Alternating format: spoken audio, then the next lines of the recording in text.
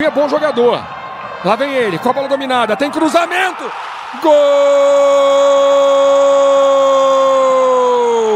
É do jogada do Serginho, cruzamento. Chaves. Terceiro gol. Tenta. O Jorge Wilson faz três gols em pouco.